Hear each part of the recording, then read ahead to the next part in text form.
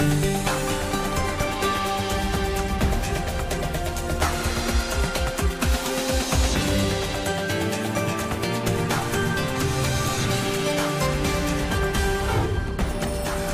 today's World Insight, China's yearly spring festival travel rush, Chunyun, is underway, with hundreds of millions of Chinese making their way home. How does it compare with the Christmas holiday reunions in other parts of the world?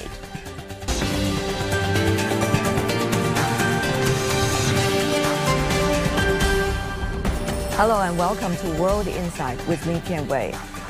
China's Spring Festival travel rush, also known as Chun Chunyun, began on January the 26th. On the very first day, a staggering 189 million passenger trips were taken already nationwide, up nearly 20% from last year.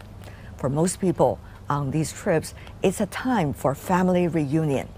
So, how important is it to be home for most of the Chinese? And what about their way home? And how are they going to take advantage of these trips, not only to see their families, but also to travel around China and even the world? For insights, let's turn to our panelists. For the latest discussion on Chunyun, or the trips that the Chinese making for home, in Shanghai, Joseph Gregory Mahoney, professor, professor of East China Normal University, Singapore. Uh, Lim Tai Wei, adjunct senior research fellow from East Asian Institute at National University of Singapore. In Beijing, Qu Qiang, research fellow of the global issues of the Beijing Foreign Studies University. Gentlemen, good to see you. I'm sure you know very clearly this is the busiest travel season for the Chinese. Mainly their destination is home, but not limited to home. So tell me more about, uh, uh, Joseph, your observation throughout the years you're living in China. What does this trip mean for most Chinese? Uh, I've seen it from different perspectives. Uh, uh, sometimes, of course, we've been overseas and, and, celebrated Chinese New Year, which, of course, is a very different experience. But I remember back in the late 90s, um, you know, in, in Guangzhou, um, this is back, you know, when you would take the train, but you'd have to stand in line to buy a ticket. You couldn't buy it with an app or online. Uh, you'd stand in long lines and hope that you could get a ticket. Um, uh, and there would be a lot of people out in the square. I remember one year there was a million people in the in the square or the plaza in front of the train station. And so it's a very unique experience. Of course, the trains now are, are, have changed; they're much faster. Everything is is much better, um, but it's still it's still quite an, an experience. But on the other hand, um, uh, in in the past few years, uh, not counting the COVID years where we had you know interruptions, but nevertheless, uh, I've been in Shanghai and I have chosen not to travel because my kids are here and, we we simply stay home.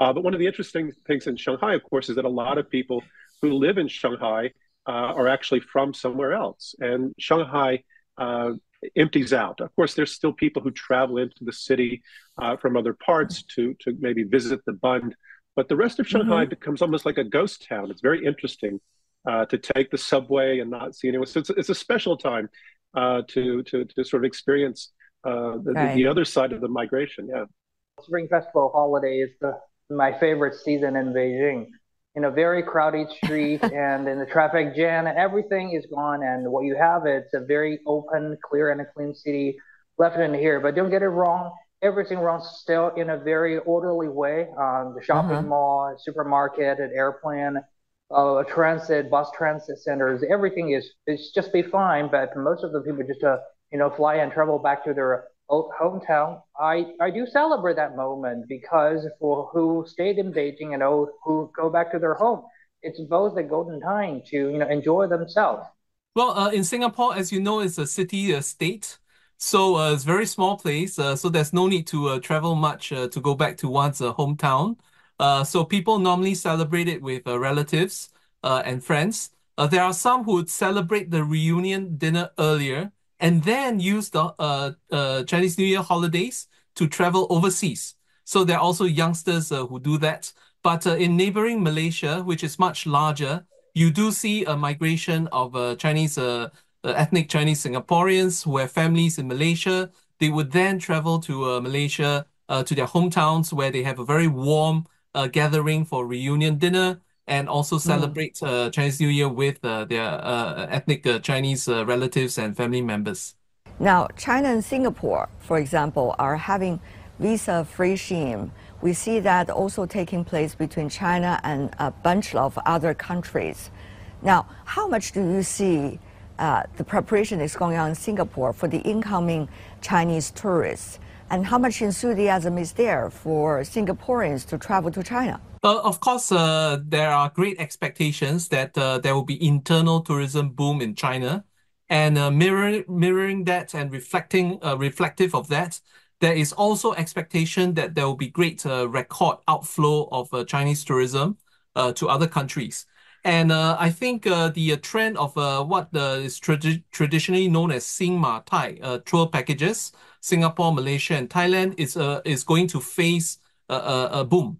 According to uh, figures uh, provided by Global Times, the bookings, the tour bookings uh, for uh, Singapore, Malaysia, and Thailand is 15 times more than normal. Uh, so there's a lot of expectations that tour operators, F&B, uh, food and beverage uh, outlets, and entertainment outlets, as well as hotels, will uh, benefit uh, from this uh, sort of a surge in uh, tourism. Uh, there is also a trend that uh, all countries uh, have been watching, not just uh, Singapore, Malaysia, and Thailand, and that is the trend that is uh, that Chinese tourists tourists are shifting towards uh, the uh, key concept of experience.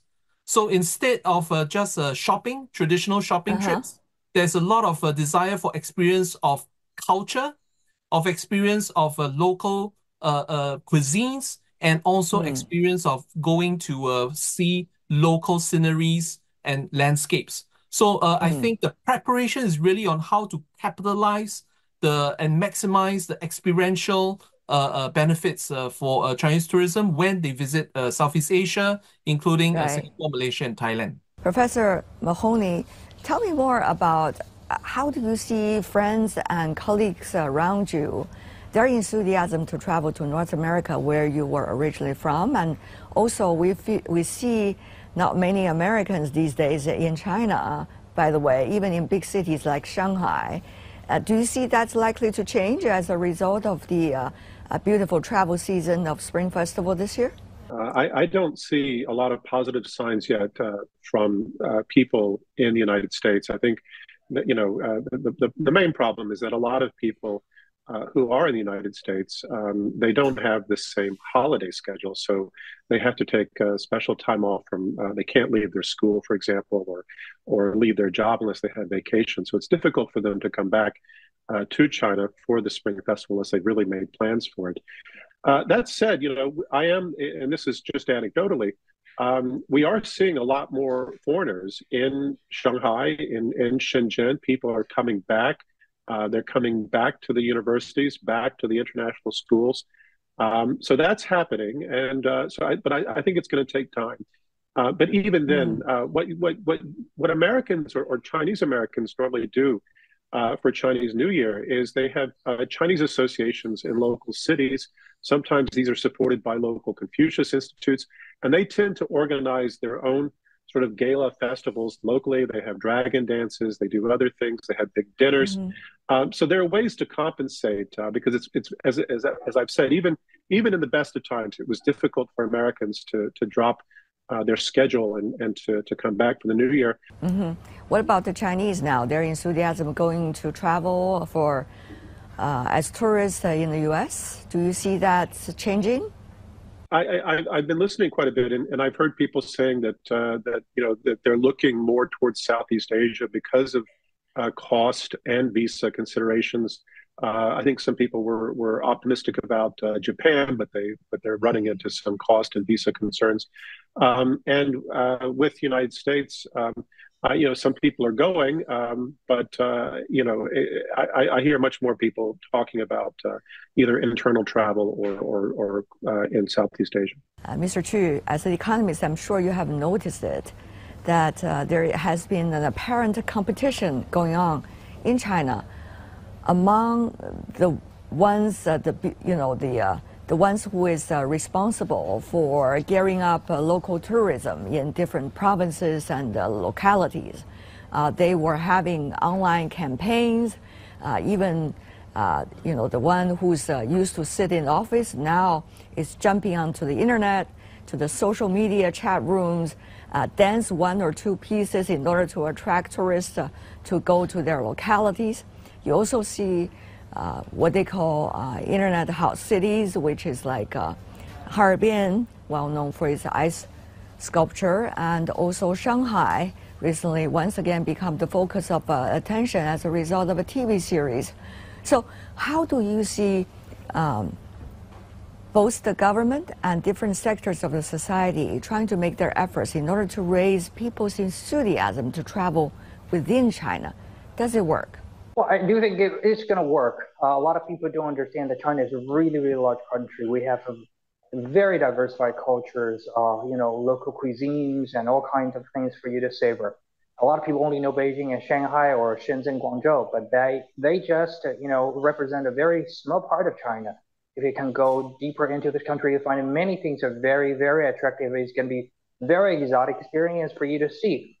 And a lot of people are worrying, you know, so many provinces and cities that they've been jumping to the internet to go to social media and TV, try to you know uh, have the bandwagon going on to attract more of the tourists to come uh, is that good? Well, I say this is good actually if you understand the one-on-one of economy and economics. You will see competition. Well, especially the good competition will bring more of the you know utilities or benefit to the whole market, to the providers and the hmm. demanders together.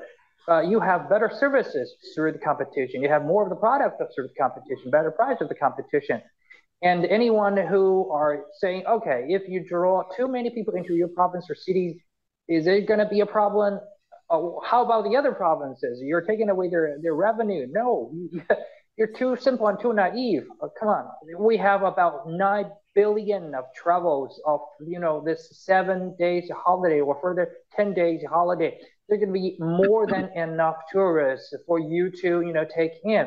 Especially even for the big cities like Shanghai and Beijing, their maximum availability for the capacity of reception is how much about that?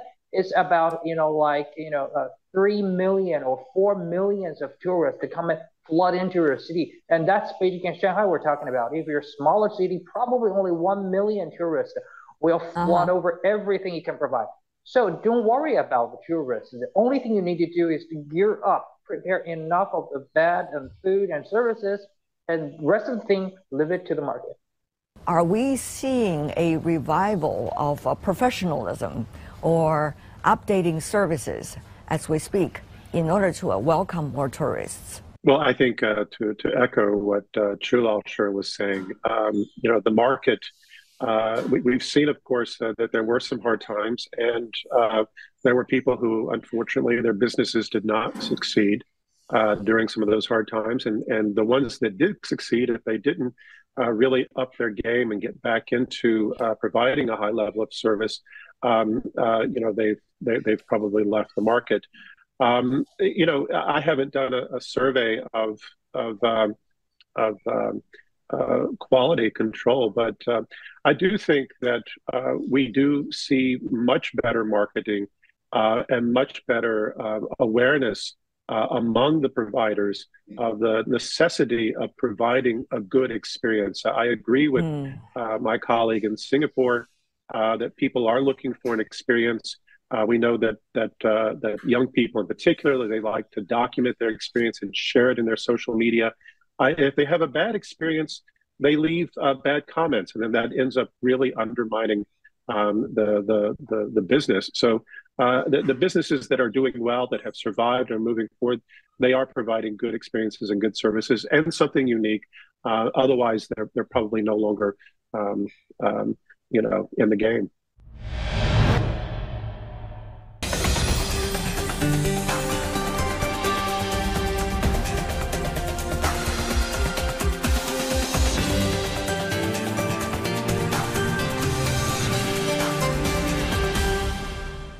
Mr. Lim, how do you see the enthusiasm that the Chinese these days are having still about the world?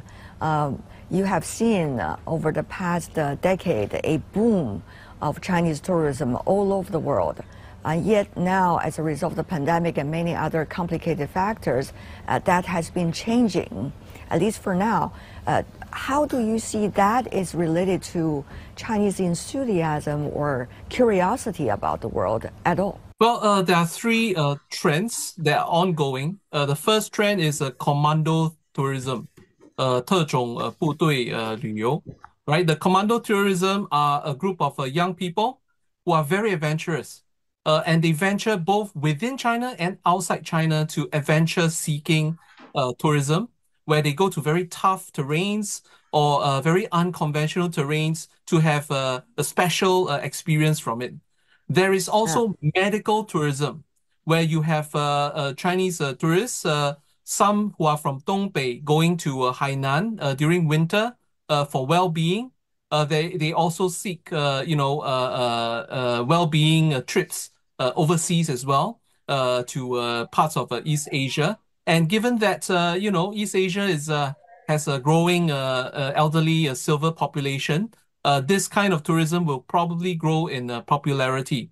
There is also popular cultural tourism, uh, where uh, Chinese uh, tourism, uh, both within, uh, go to uh, places both within China, where they wear a hanfu, uh, traditional Chinese costumes, and they cosplay uh, in different parts of China for Instagramming.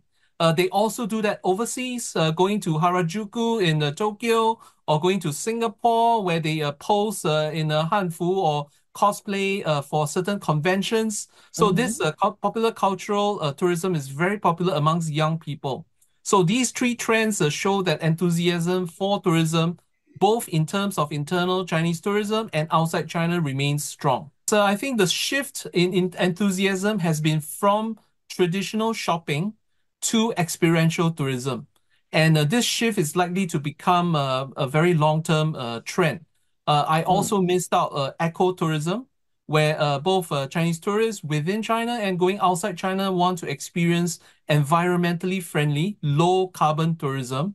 And that means, you know, taking trips that consume mm. much less environmental resources. So it's not a matter of lo loss of enthusiasm, but it is a matter of how to market uh, tour packages in order to capture uh, these trends uh, that are booming or emerging in um, amongst the Chinese tourists? For, for most of the people that I'm speaking with, including a lot of the foreigners who are staying in China, uh, they're choosing this opportunity to travel to places like Qinghai or uh, uh, Guizhou or, or, other places that they have on their bucket list of, of things that they want to see in China, but they haven't had time. Um, and uh, again, this is because it is the first full year that uh, we haven't had any sort of uh, COVID controls, um, and people, you know, people who aren't traveling uh, to visit family but to their hometown, they are looking at opportunities to go other places. Now, there are people who are still traveling. Uh, overseas, uh, I, I, was speaking to a colleague the other day who was planning a trip to Istanbul. Um, so I, I, think that you know there are people who who still want to to go out and see the world. Uh, but I think they're being more selective about where they go. Um, and I agree with the the the the the, the idea that uh, it's no longer about shopping or luxury shopping. You know, the, I remember uh, several years ago I went to to Jeju uh, Island, which you know had this very uh, convenient uh, these travel packages between Jeju and Shanghai, and there was this place right when you landed in, in, in Jeju that was just shopping mall after shopping mall of uh, duty free. And a lot of Chinese would just go to Jeju to eat and shop and then come back uh, to Shanghai. Right. But I think you know the, the, the thing is now it's it's it's of course you can buy a lot of those same products in Shanghai. There's really no reason to go uh, to Jeju or anywhere else to buy them. Uh, but at the same time, um, I think the younger generation in particular uh, has a different idea of value. Of course, as uh, um, uh was mentioned, uh, the idea of uh, being eco friendly, but also mm-hmm. no longer wanting to show brands the same way that the older generation did. having a very different sense of aesthetic. How much do we see the services and also the efficiencies and the availabilities of fast trains and transportation and be improving in China? and how to make sure better access for the common folks? Well, I think currently we have already seen a major change in transportation as well as just uh, you know Joseph just mentioned, uh, and also just the Tai Wei has mentioned about commando travel. It's because we have a very high speed uh, you know uh, train systems and network recently in China. But what changed a little bit is, for example, when I used to want to travel from Beijing to Urumqi, which is like uh, you know 6,000 kilometers away from here, I used to need to take more than seven days of you know hard sea train just to go there. Everybody need to wait in the corridor, uh, you know, have a little photo seat on you know uh, in the joint you know uh, parts of the train. It's a very very you know hard travel time, painful actually for everyone. Right now, what we have is you travel, you know, the main part of your mileage is through the high-speed train and through the you know aircraft you know network uh, for the first uh, lot for example, I can fly from Beijing to Urumqi, you know, or take the high-speed train, probably only for one day. And then I can switch if I leave further than Urumqi in some other branch cities. I can then take a local train network or take local yeah. bus transit uh, network. So uh, in, uh, compared to like seven days before, now I only take two days or even shorter than that. So it's more like a combination. People have more choices. You know, they you know travel long distance by a faster way, and then if they want to travel to their uh, little village, to their little county, and then uh, they switch to some other transit. So I think this yeah. has been made. I think change has been made only within the, the years of 20 years or 10 years. I think this change has been phenomenal, and in the future, I assume with such kind of the hot buzz happening with the tourism all over China, not only with big cities, so I think the government will make more infrastructure improvement to help people travel around, including the homegoers. So you see an interesting phenomenon. It's not anymore. People are waiting in the square in front of a train station in order to secure a ticket, but rather there is enormous amount of e-traffic, and uh, uh, because many have need to purchase online, and therefore there were enormous amount of traffic jam, quote unquote, uh, while people are waiting to get into line, get in line, uh, waiting online in order to get a ticket. So that is uh, what is happening today. Uh, there is a change where the traffic is happening right now. So, Joseph, tell me more about how you are seeing stories like this taking place in China. how much is still need to be done in order to make sure people are going to have a smooth trip back home? Well, let's let's be fair. You know, this morning, for example, it, it was raining in Shanghai, and around ten o'clock this morning, I had to uh, attend a meeting, and I made a mistake. I should have taken the subway, but instead, I used Didi to call a, a cab, and uh, I found that I had to wait forty-five minutes uh, because it was too close to rush, and it was rain, and so there was a surge in demand. Right now, you can't have um, uh, uh, um, this expectation that you will always be able to fully satisfy uh, these exceptional moments when the market is really mm. buzzing with with activity. Um, and so sometimes you have to make some some accommodations now. And I think the government is is trying to to respond to these pressures.